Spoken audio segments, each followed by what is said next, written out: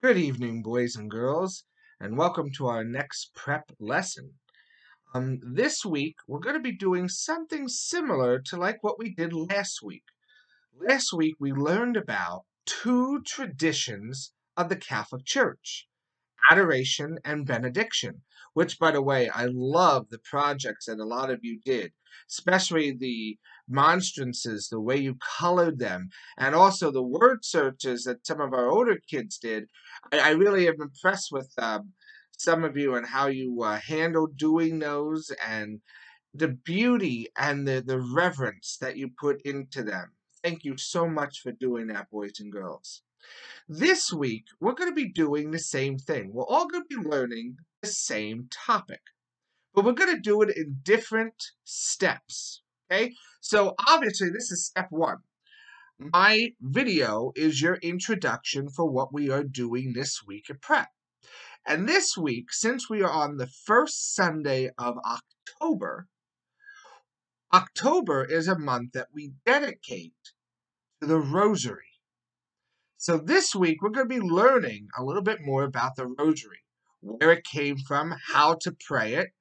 And your assignment for this week has nothing to do, you don't have to email me anything this week. Your assignment is to say the rosary together with your family. Okay? You don't need to take a picture of yourself doing it. You don't need to email me that you did it. All you have to do is do it. Okay, so I shouldn't be receiving any emails this week of assignments. This is something that I want you to do with your family. Okay, now, boys and girls, one of the things that we're used to is this is what a rosary looks like. Okay, we have beads, crucifix right here. Okay, in your bags, I gave you a coded COVID version of a rosary.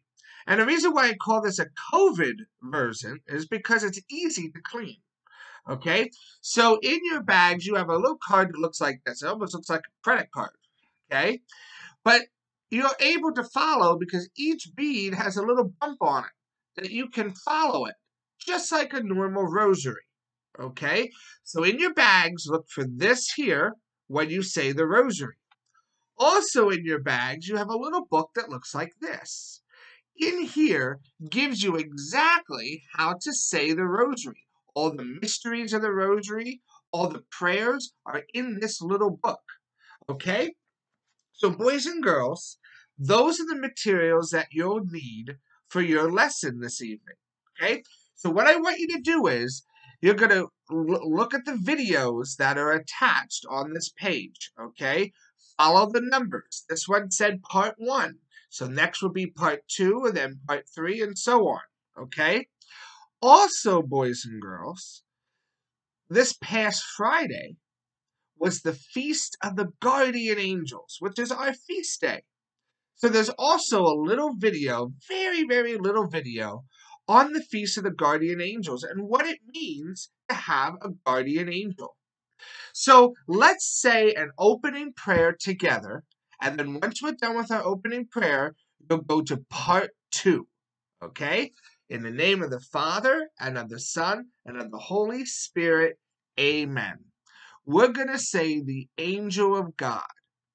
Angel of God, my guardian dear, to whom his love entrusts me here, ever this day be at my side, to light and guard, to rule and guide.